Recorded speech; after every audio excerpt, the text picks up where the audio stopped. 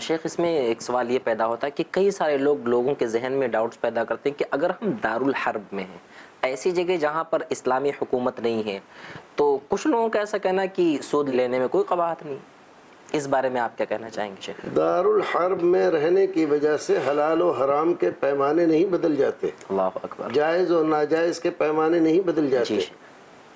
खबीस चीज़ें तैयब चीज़ें नहीं बन जाती। खबीस खबीस रहेगा। जी। तैयब तैयब हो जाएगा। जी शरीयत में ऐसा कुछ उसूल है क्या कि अगर दारुल हर्ब में है तो वो जायज़ या इस बारे में कुछ अकवाल? ऐसा कुछ नहीं है। जी। कोई आयत करीमा जी। या रसूल अकरम सल्लल्लाहु अलैहि वसल्लम की कोई सही हदीस जी। कि आप दारुल हर्ब में चले जाओ तो वहाँ पर सूद ले सकते हो? जी। ऐसा कोई हुक्म किसी सही हदीस में रसूल अकरम से मरवी नहीं है। ये महज अकवाल हैं लोगों के और उसको बुनियाद बनाकर लोगों ने क्या किया? जी। कि एक ज़माना था हमारे हिंदुस्तान में पड़ोसी मुल्कों से जी आकर लोग बाकायदा यहाँ जी।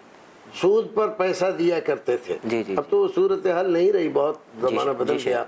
हमने अपने बचपन में देखा। जी। और उनका कोई और काम ही नहीं था सिर्फ़ पैसा बांट के चले जाते थे। साल के आखिर में आते और उस पैसे के हिसाब से दो परसेंट एक परसेंट के हिसाब से अपना सूद वसूल किया। और चले गए। अपने मुल्क में नहीं करते थे यहाँ करते थे। ये बिल्कुल वही सूरत हाल है जैसे यहूदियों ने किया था।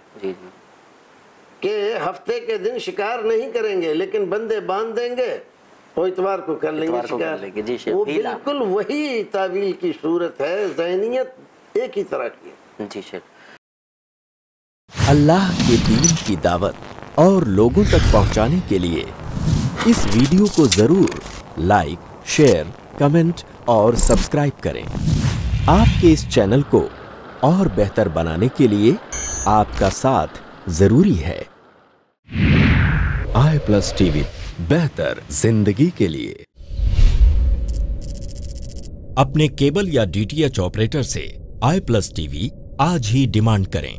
I plus TV, free to air और इंडियन रजिस्टर्ड चैनल है।